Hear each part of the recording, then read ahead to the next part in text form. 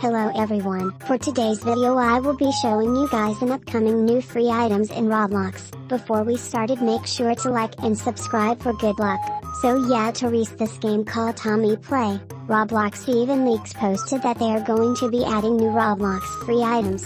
This is the 4 new items that will be coming. I still don't know when it will be coming out, but let's go ahead to see the game if they have updates.